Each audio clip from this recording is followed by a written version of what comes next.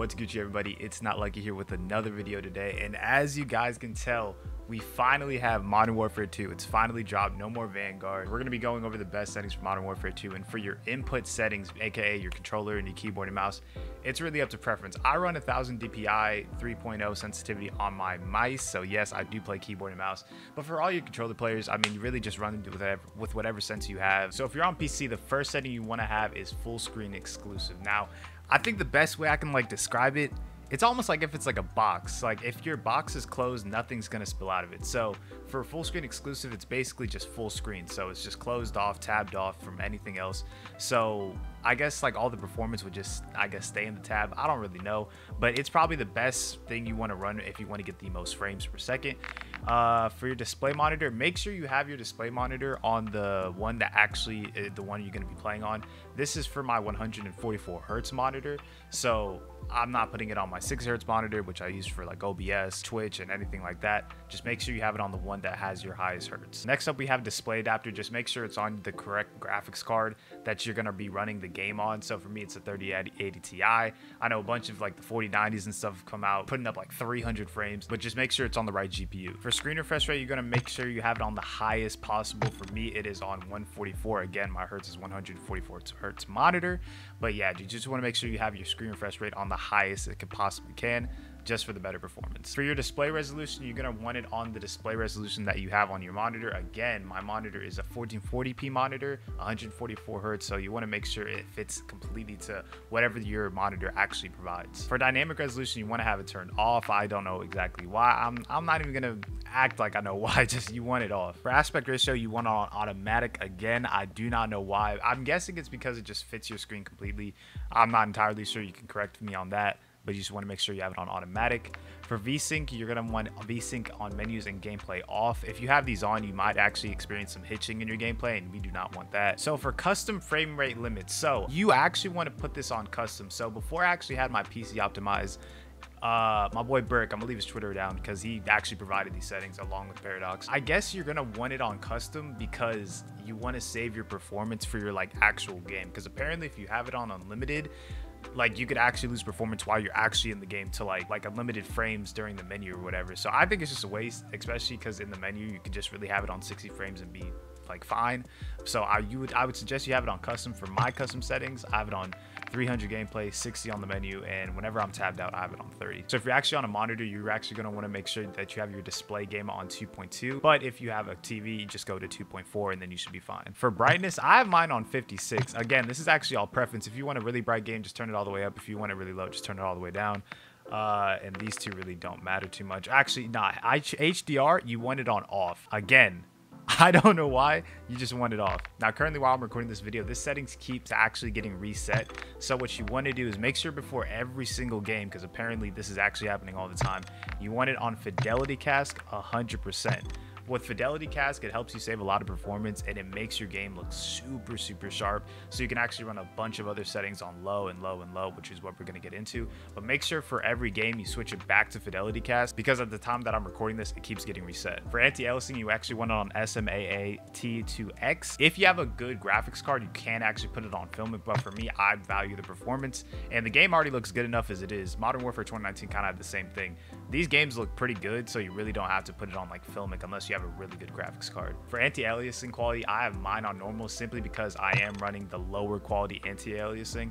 So this kind of provides me a little bit more quality back. For video memory scale, apparently people have been going with 90, but it's already set to 85. So I really didn't change it that much. And when I got my settings, apparently 85 was what it was already set to. So I wouldn't really change it. For texture resolution, you're going to run it on low. Again, the game already looks really good as it is. So you really don't need to run it on like high or something like that. I might run it on normal just because I have a pretty good graphics card, but for right now, I have it on low. For texture filter and, and blah, blah, blah.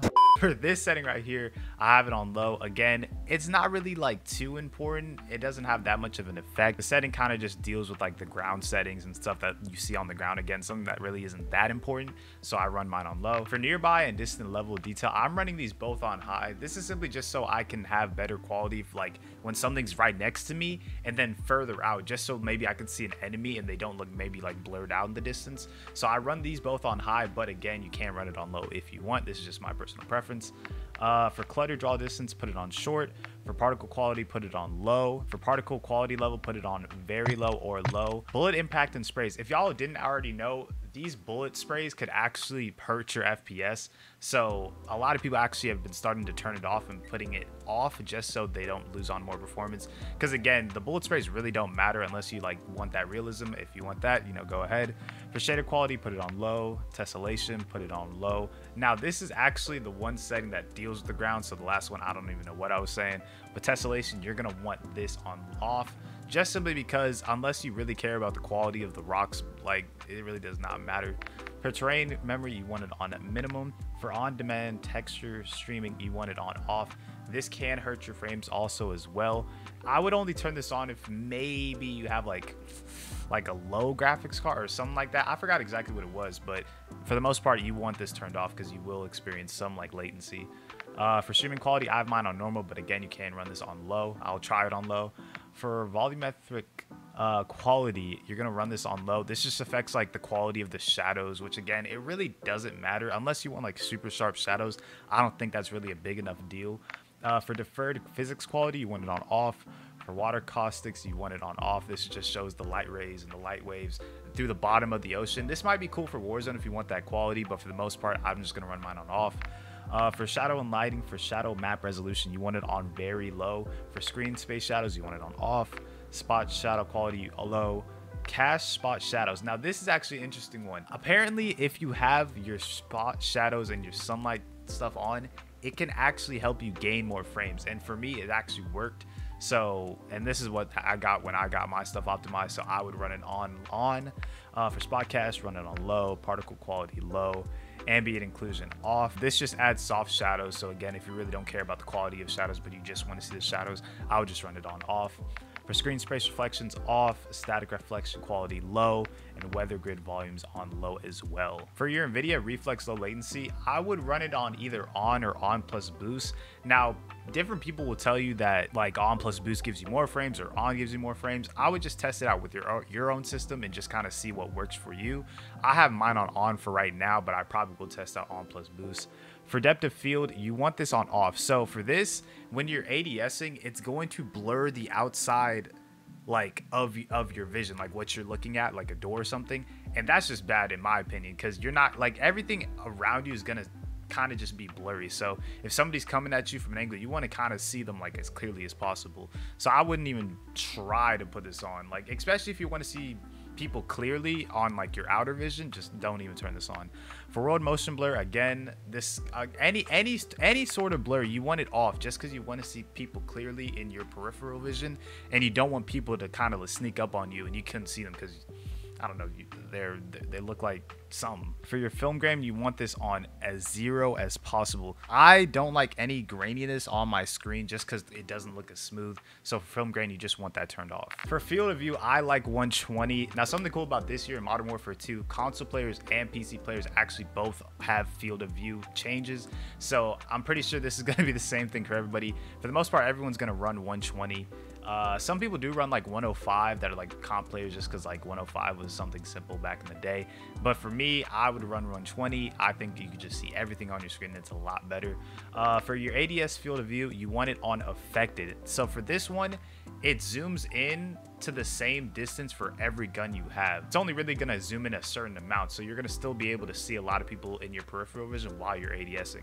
So for me, I would run it on affected and that would just be the best option. For weapon field of view, this is actually something I changed in the beta and something I really didn't notice until like last second. With the visibility issues in the beta, it felt like whenever you ADS with your gun, you couldn't see your enemy at all.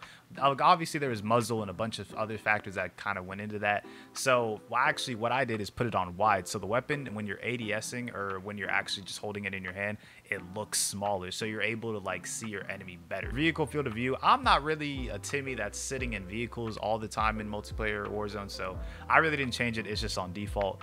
And for camera movement for first and third person, I recommend putting it on the least just so you don't have as much visual recoil and you can actually see your target clearly. So for audio settings, we really don't have a good idea of what's probably going to be the best audio settings, especially when Warzone comes out.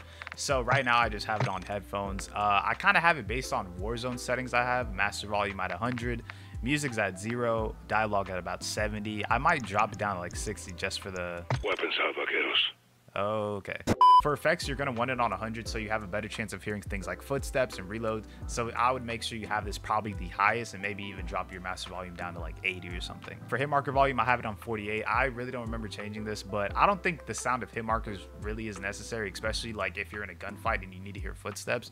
I would just lower it down to around like 50 or even lower, just not make it as high as your other settings. And that's actually going to be it for all the best settings you need to run on day one. So if you enjoyed, remember to like the video and subscribe to the channel with bell notifications. We got a lot of videos coming out in the next couple days. Leave a comment talking about what you're most excited for for MW2, and I'll see you on the next one.